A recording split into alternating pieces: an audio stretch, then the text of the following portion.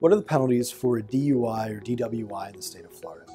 So DUIs in the state of Florida have what we call minimum mandatory sanctions that accompany them. And what that means is by law, the court must impose certain penalties. For a first-time DUI without an enhancement, what that means is no car accident, no breath test above 0.15, no children in the car, things of that nature. The standard minimums are an adjudication of guilt. The fine is just under $1,000. Uh, there is a probationary period of generally 12 months.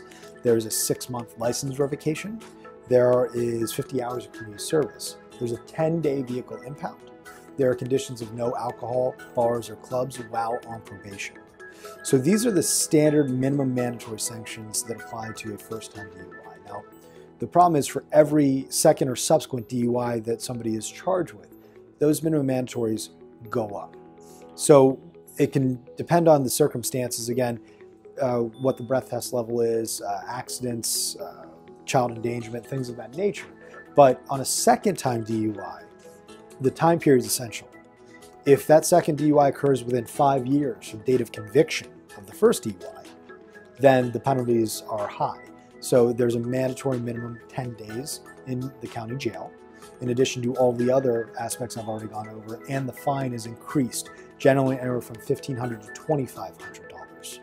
Uh, so those are obviously very significant increases. There's also ignition interlock devices that come into play on a second time DUI within. If the second time DUI is outside of five years, then there's no mandatory jail. However, the ignition interlock and the increased fine are still in play, along with all those other standardized conditions we talked about.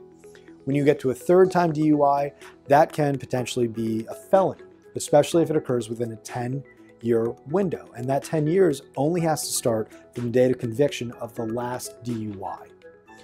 There's obviously fourth and subsequent convictions as well. Those are almost automatically felonies. The third within can be a felony, can also potentially be a misdemeanor. There's a lot of negotiation that has to take effect in, in those types of cases to determine what the outcome will be. But long story short, the minimum mandatory sanctions must be imposed by law and they do vary from number of DUI to number of DUI.